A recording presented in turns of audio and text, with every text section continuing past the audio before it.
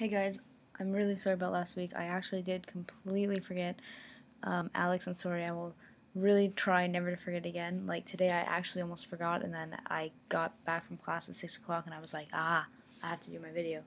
So, obviously, I haven't really been thinking about it. Like today, I wasn't thinking about what three things I want to do before I die, which is really crappy because now I have to come up with it really quickly. So I was looking around my room, and I sort of um, have like the three things that I want to do.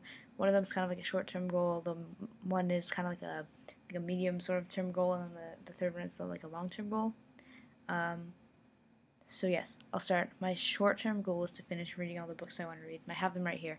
I'm just going to show you. Um, I really like reading. I haven't had a lot of time to do it lately because I've been studying a lot, but these are the books that I'm trying to finish now. Um, this one, I read one, two, and three during the summer, and then school started, and I did not have time to finish it. So I'm trying to finish all of these. I don't have the fifth book. If anybody wants to buy it for me, that'd be fantastic. Um, this I just got recently. Um, I know it's kind of lame to get the like essentials thing because I'm too lazy to go and actually try to find all the books, like the starting comics, the first issues. So I've got this which is not the best quality, but it's a good good place to start, I think. Um, this, which shouldn't take very long. These are really funny. I really like them. Uh, this, which is another one that's just kind of like a compilation of the best zombie comics, and I really, really like zombies. Like I said in my first video, I love them so much. Sorry. Um, this I started reading. I'm almost finished. It's a really good book. This I also started reading.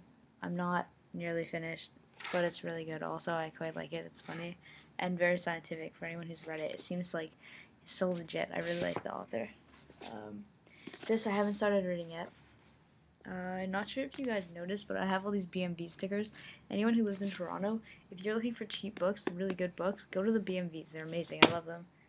And um, this, which I started reading like two years ago, and for some reason uh, never finished. So those are all the books that I'm trying to finish now, as well as studying and doing all my school stuff. Um, that's my short-term goal. My medium-term goal is to finish learning French.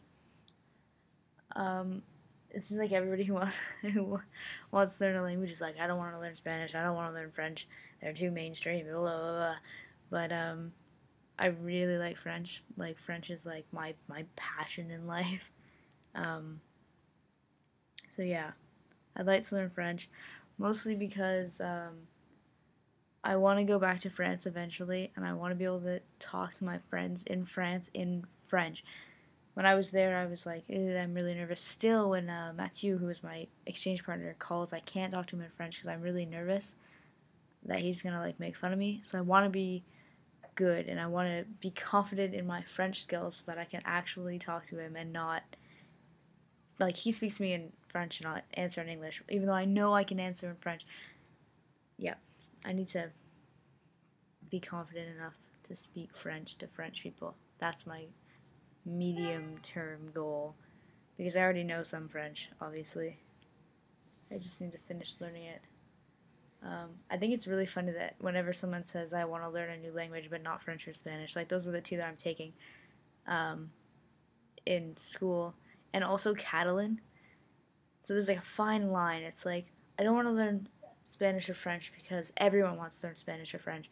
I want to learn something like Russian or Ukrainian or Portuguese, um, and that's like acceptable. But I'm also taking Catalan, right? Like I said, and that one's like apparently too obscure every time I tell someone I'm taking Catalan, the first question is, what is that?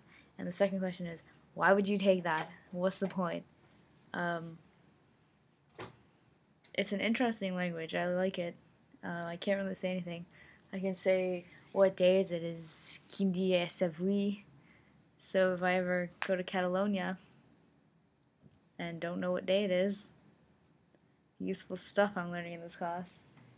Um, Right, and my long term long term goal. Oh, what was it? I can't remember. Books, French, Oh, right, right, right. I want to learn um, how to touch people, which sounds really creepy um, now that I've said it out loud. But like right now, I really don't know how to touch people. Like, I don't want to. I don't want to learn to like touching people. I don't think I'll ever like touching people, but I want to learn how to do it so that at least it seems normal.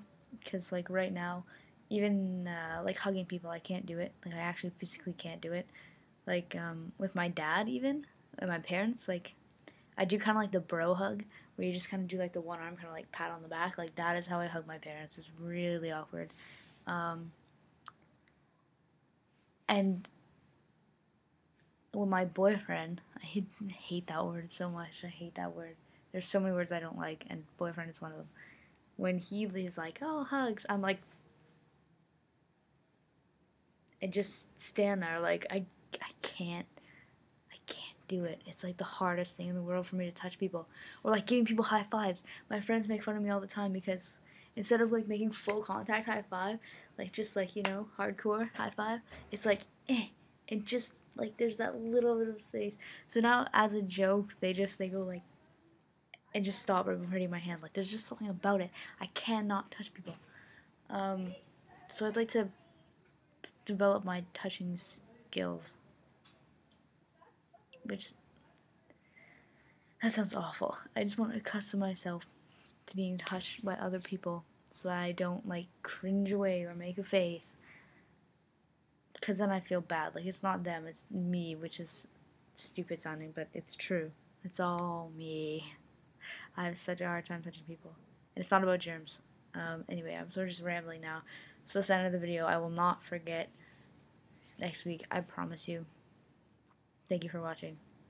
See you next Thursday.